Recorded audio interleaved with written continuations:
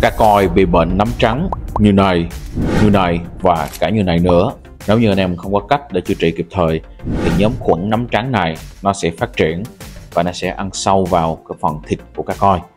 Thành ra dẫn tới câu chuyện là thối vây, còn tệ hơn là lây lan cho cả đàn và làm cho cả đàn ra đi hàng loạt. Vậy anh em đã biết cách để khắc phục tình trạng này hay chưa? Trong video hôm nay mình sẽ chia sẻ đến anh em cách để khắc phục bệnh nấm trắng và thôi vây ở cá coi anh em cùng tham khảo qua và có thể áp dụng thực tế luôn cho hộ cá coi nhà mình. Hello anh em, chào mừng anh em đã quay lại với kênh youtube của mình lại là mình đây Vĩ đây anh em, nếu anh em có những thắc mắc về hồ cá coi thì anh em cứ comment bên dưới nha. Mình sẽ giải đáp chi tiết cho anh em. Bên mình hiện đang cung cấp đầy đủ vật liệu lọc, chổi, siêu mát, máy bơm, máy sủi oxy cho hồ cá coi. Anh em có nhu cầu thì liên hệ với mình nha. Đầu tiên ở đây, bệnh nấm trắng là gì? Đây là một loại bệnh thường hay gặp ở cá coi. Nó do một chủng nấm cái tên là multiflix, sống ký sinh trên thân body của cá coi gây nên. Chủng nấm này thì nó sẽ bám chặt vào da vây mang cá, body của cá và nó ăn sâu vào cái phần mô, tế bào và phần thịt của cá nha anh em. Sau khoảng 1 đến 2 tuần, nó hút hết chất dinh dưỡng của cá coi rồi thì nó sẽ phát tán vào bên trong nước để sinh sôi, nảy nở, lây lan cho những cái coi khác. Và tiếp tục câu chuyện là ký sinh gây hại. Nếu như anh em không có phương án kịp thời thì sẽ lây ra hết cả đàn và dẫn tới câu chuyện là cả đàn ra đi, tử vong hết cả đàn, nha anh em. Đầu tiên mình sẽ trình bày qua một tí về câu chuyện là nguyên nhân nào mà cá coi bị bệnh nấm trắng. Thường thì ở đây sẽ có ba nguyên nhân chính sau đây. Thứ nhất là do chất lượng nước trong cá coi của anh em bị kém, ngăn lọc lâu ngày, anh em không xử lý, không vệ sinh làm cho tồn dư cái lượng chất thải nhiều ở trong nước những khí độc như là NH3, H2S đồng thời lượng phân cá, nhớt cá, chất thải bên trong hồ tồn dư nhiều làm tạo điều kiện để cho các chủng nấm này nó làm ổ và nó phát triển lên. Cái thứ hai ở đây là cái vấn đề về nồng độ pH trong hồ cá coi của anh em không được ổn định.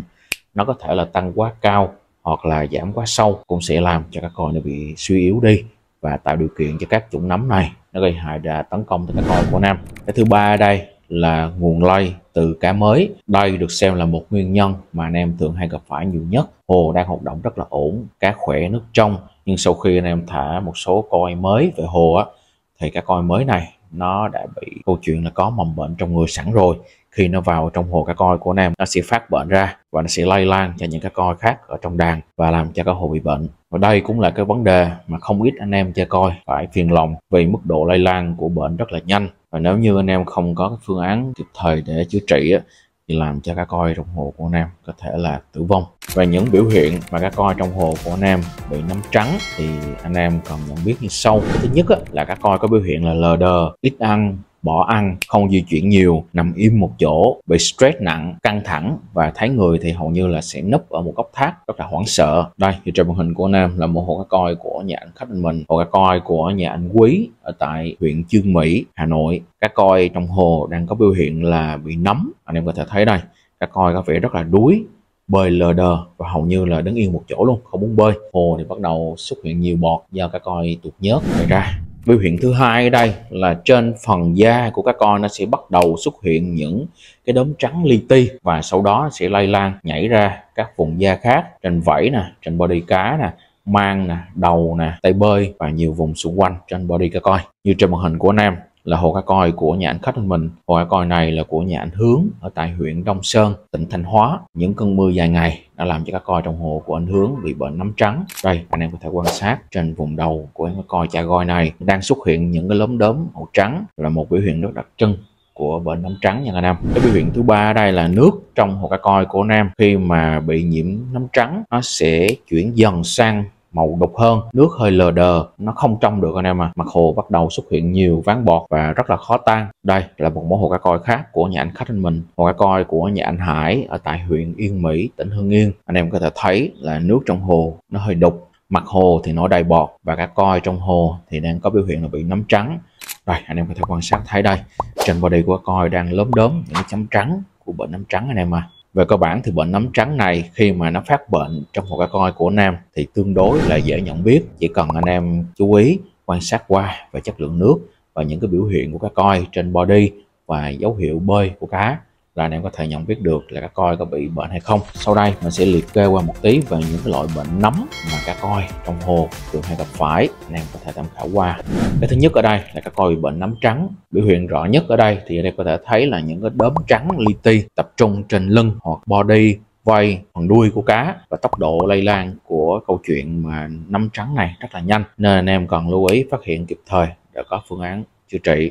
Cái thứ hai ở đây là cá coi bị bệnh nấm mang, hay anh em còn gọi là thối mang. Về nấm mang á, nó là một loại bệnh cực kỳ là nguy hiểm đối với cá coi nói chung thực tế cá coi bị nấm mang thì tỷ lệ tử vong lên rất là cao nha anh em đã lên trên hơn 85% là cá coi bị tử vong rồi. Về những cái biểu hiện anh em có thể nhận biết ở đây á, là khi anh em vạch cái mang cá ra anh em có thể thấy những vết lớn đốm đỏ và loang trắng. Cái phần mang sẽ chảy máu nhẹ ở mang nó sẽ tiết ra nhiều cái dịch nhầy. Và cái dịch nhầy này nó hòa tan vào nước thì làm cho tốc độ lây lan bệnh rất là nhanh. Mắt của cá coi có biểu hiện trũng xuống da cá thì có chỗ rộp và bạc màu.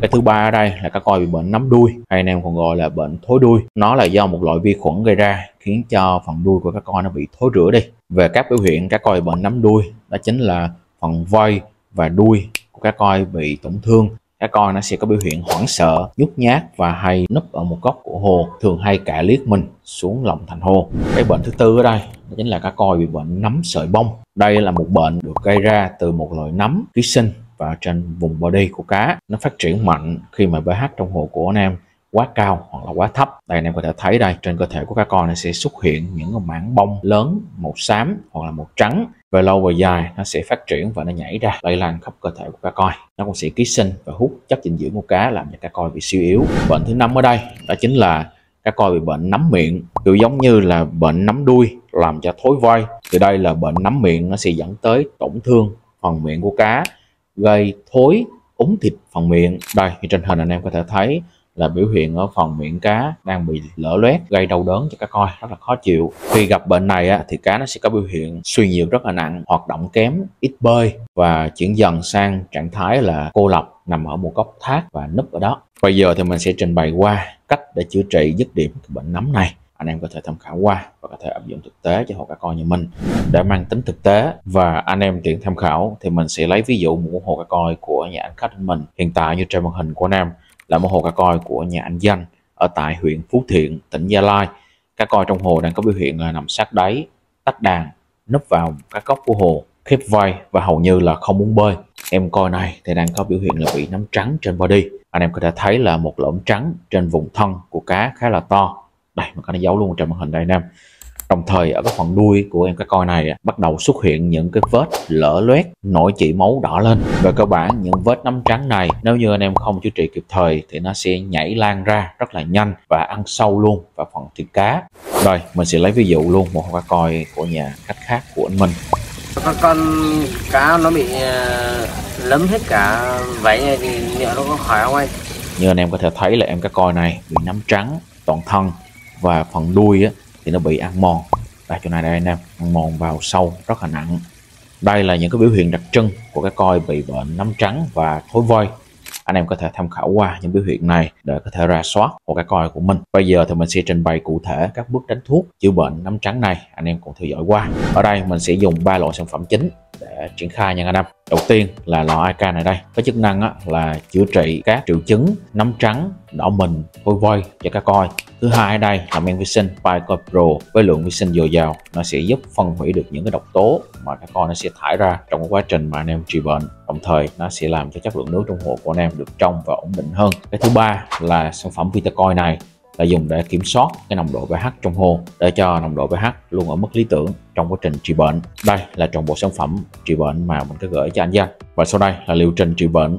Ngày đầu tiên, tiến hành đánh muối với tỷ lệ là 4 kg trên một khối nước, đánh AK với tỷ lệ là 7 g trên một khối nước, đánh Vitacoin với tỷ lệ là 10 g trên một khối nước, đánh Biocoin Pro với tỷ lệ là 60ml trên một khối anh em có thể thấy đây, sau khi đánh thuốc vào thì cá đã bắt đầu bơi nhiều hơn và đã linh hoạt hơn. Sang ngày thứ hai thì mặt hồ nó còn nhiều ván bọt do cá bắt đầu tuột nhớt và thải độc tố trong người ra. Nước nó hơi ngã màu vàng là do thuốc AK hôm nay để nguyên như vậy, không thay nước để ngâm thuốc cho cá coi.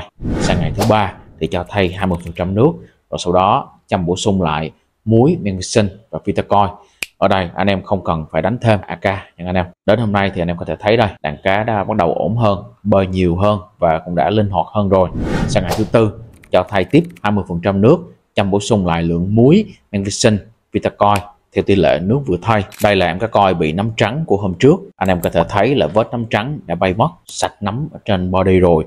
Cá coi hiện tại đã bắt đầu khỏe và sung hơn.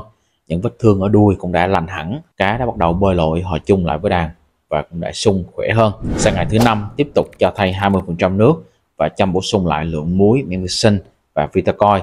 Đến hôm nay thì hầu như các coi trong hồ đã khỏe bơi lội tung tăng, tình hình nước ám vàng và nổi đầy bọt như ban đầu cũng đã được cải thiện rồi. Nước trong và mặt hồ cũng ít bọt hẳn. Theo dõi đến ngày thứ 9, thứ 10 thì anh em có thể thấy đây, cá hiện tại đã khỏe hẳn, bơi lội tung tăng, hồ sạch vắng bọt, nước trong, cá thì cực khỏe và sung, dạng người. Anh Danh bắt đầu cho các coi ăn trở lại từng ít một và cá đang rất là khỏe và dạng người anh em có thể thấy là nó ăn trên tay ầm ầm luôn. Đây là video mình có ghi nhận lại được dựa trên tình hình thực tế của hồ cá coi nhà anh Danh ở tại huyện Phú Thiện, tỉnh Gia Lai. Anh em có thể tham khảo qua quá trình trị bệnh năm trắng và thú vây này của nhà anh Danh để có thể áp dụng thực tế cho hồ cá coi nhà mình.